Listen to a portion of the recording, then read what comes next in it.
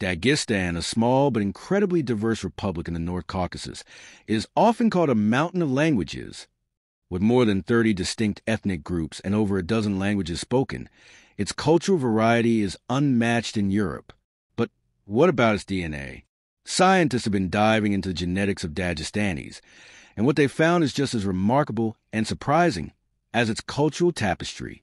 The genetic origins of Dagestanis reveal a story that stretches far beyond the steep slopes of the Caucasus Mountains. Modern studies show that the people here are not descended from a single ancient tribe, but from a blend of lineages dating back tens of thousands of years. Their DNA carries traces from early Caucasus hunter gatherers, steppe nomads, ancient Iranian farmers, and even distant populations from the Middle East and Central Asia. Why such a mix?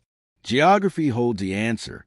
The Caucasus Mountains form both a barrier and a crossroads, shielding communities from invaders while also serving as a key corridor for migrations between Europe, Asia, and the Middle East. Over centuries, waves of traders, warriors, and settlers passed through, some staying and blending into the local population. Even more fascinating is the deep genetic continuity. While outside influences have left their mark, many Dagestani groups retain a unique genetic signature that sets them apart from neighboring regions. This rare combination of isolation and connection has made Dagestan a living laboratory for genetic diversity.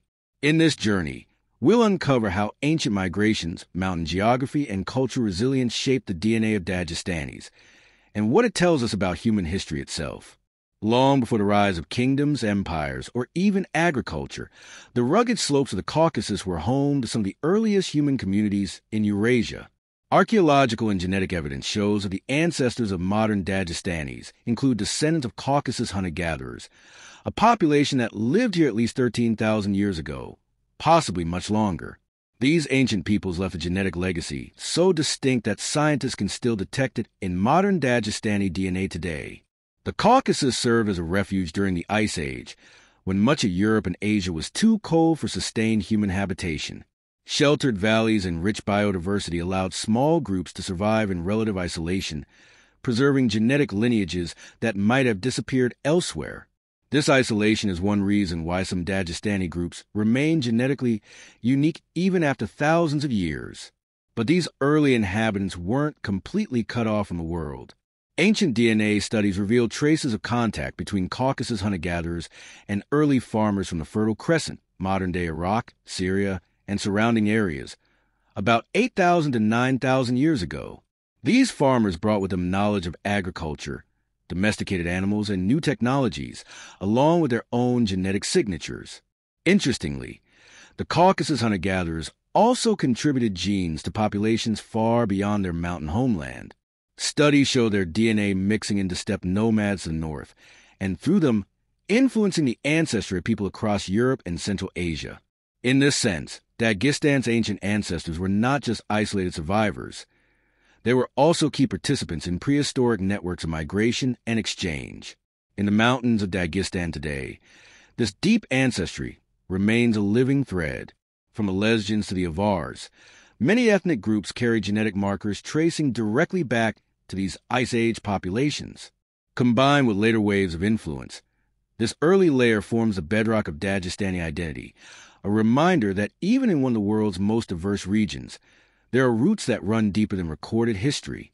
By the Bronze Age, roughly 5,000 years ago, Dagestan's ancient Caucasus population began encountering new waves of migrants from two very different worlds the sophisticated farming cultures of the Iranian plateau, and the mobile horse riding societies of the Eurasian steppe. From the south came people connected to early Iranian speaking civilizations.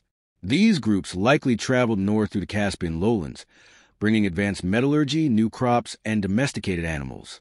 Genetic studies show that Dagestani populations absorbed some of this Iranian related ancestry, which blended with their older Caucasus hunter gatherer roots.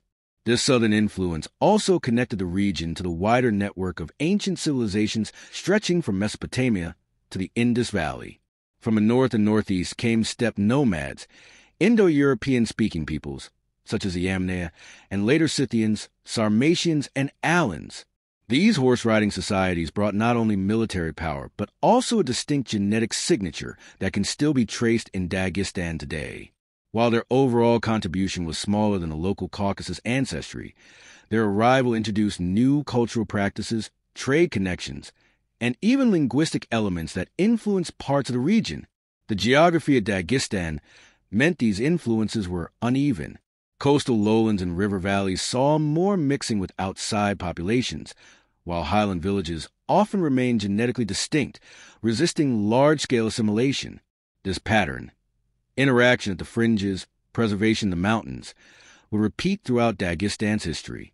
By the end of the first millennium BCE, Dagestan's genetic profile was already a complex mosaic. Ancient Caucasus roots interwoven with strands from Iranian farmers and Eurasian steppe warriors. This foundation set the stage for the even greater diversity that would come in the medieval and early modern periods. The 7th and 8th centuries brought a profound cultural and genetic shift to Dagestan. As the Islamic Caliphate expanded northward from the Middle East Arab armies, traders, and scholars reached the Caucasus, introducing Islam to the region. While the mountainous terrain meant that conversion and integration were gradual, Arab influence left both a spiritual and biological mark on the Dagestani people. Genetic research reveals small but detectable traces of Arabian and broader Middle Eastern ancestry in certain Dagestani populations, particularly those in southern and lowland areas that were more accessible to trade and migration routes. This influence likely came not from mass settlement, but from smaller numbers of Arab soldiers, religious teachers, and merchants who intermarried with local communities. The Islamic period also intensified Dagestan's role as a crossroads between diverse peoples. Alongside Arabs came Persians, Turks, and merchants from as far as Central Asia, each adding new threads to the region's genetic tapestry.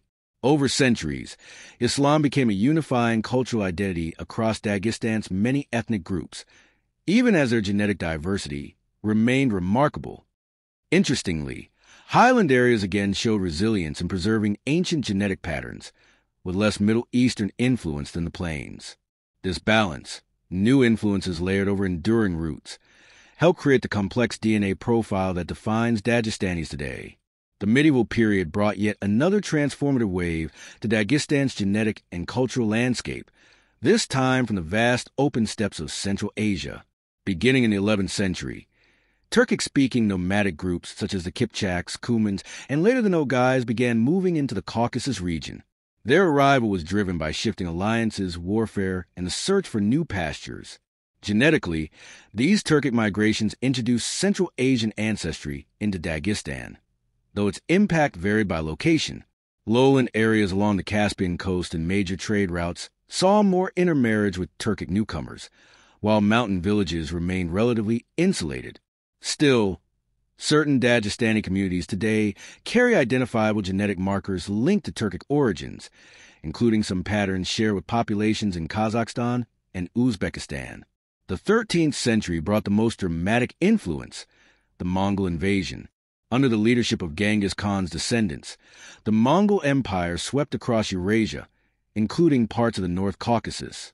While the Mongols never fully occupied Dagestan's rugged highlands, their presence was felt in the form of tribute demands, military campaigns, and the movement of peoples under their rule. Genetic traces of East Asian ancestry in some Dagestani populations are likely a legacy of this era, blending with earlier Turkic contributions. These centuries of steppe influence were not purely destructive. The Turkic and Mongol periods also expanded trade connections, linked Dagestan more closely to Silk Road networks, and introduced new cultural practices, from horsemanship to military organization. The result was another layer in Dagestan's already complex DNA mosaic, illustrating how the region's history is a constant interplay between resilience and adaptation. From the early 19th century onward, Dagestan entered a new chapter under Russian imperial expansion. Following decades of conflict, including the Caucasian War, Dagestan was gradually incorporated into the Russian Empire. This brought new waves of genetic influence, though, as with earlier periods, geography shaped how much reached different communities. Russian soldiers, administrators, and settlers in lowland towns sometimes intermarried with local populations, introducing Eastern Slavic genetic markers. However, the mountain villages, with their strong clan structures and relative isolation, maintain much of their ancestral profile. The Soviet era accelerated population movements. Industrialization projects, urban growth, and collectivization policies brought workers from across the USSR Russians, Ukrainians, Armenians, Georgians, and Central Asians into Dagestan cities. At the same time, some Dagestanis moved to other Soviet republics for education, military service, or labor, returning with spouses from diverse backgrounds. While the overall Slavic genetic contribution to Dagestan remained modest compared to ancient Caucasus, Iranian, Turkic, and Arab layers, it became more noticeable in certain urban populations. The Soviet emphasis on a unified identity also encouraged interethnic marriages, subtly blending DNA that had remained separate for centuries. By the end of the 20th century, Dagestan's genetic map reflected both deep rooted continuity in the highlands and modern era mixing in the lowlands, a dual pattern that continues today. Recent genetic research has shed new light on the complex ancestry of Dagestanis, revealing a fascinating mosaic shaped by millennia of migration, conquest, and cultural exchange. Advances in DNA sequencing allow scientists to trace subtle genetic markers that tell stories far beyond recorded history. Modern studies confirm that Dagestan's population carries deep roots in the ancient peoples of the Caucasus, with strong continuity stretching back thousands of years. Yet, this core heritage is layered with traces from Iranian, Turkic, Arab, and Slavic peoples, reflecting waves of migration and interaction. Surprisingly, despite centuries of Russian and Soviet influence, the genetic imprint of Slavic populations remains relatively limited in most Dagestani groups, especially in mountainous areas. Instead, the dominant genetic signals continue to highlight the region's unique position as a crossroads between Europe and Asia. These findings underscore the remarkable genetic diversity within Dagestan. Each ethnic group, whether of Avars, Dargins, Kumyks, or Lezgins, shows distinct patterns that mirror their unique histories, languages, and geographic isolation or openness. Moreover, ongoing studies are uncovering genetic markers that hint at even older connections, linking Dagestanis to early human migrations out of Africa and the development of the Caucasus as a refuge during the last ice age. This complex genetic tapestry not only enriches our understanding of Dagestan's past, but also challenges simplistic notions of identity. It reveals a people shaped by diversity, resilience, and centuries of blending cultures, an enduring testament to the human story written in our DNA. The rich genetic heritage of Dagestan plays a powerful role in shaping the identity of its diverse peoples today. This ancient tapestry of ancestry is a living reminder of the region's history as a vibrant crossroads of cultures, languages, and traditions. For Dagestanis, understanding their complex genetic origins fosters a deep sense of pride in their unique place within the Caucasus and the broader Eurasian landscape. It highlights the endurance of their communities through centuries of shifting empires, invasions, and migrations.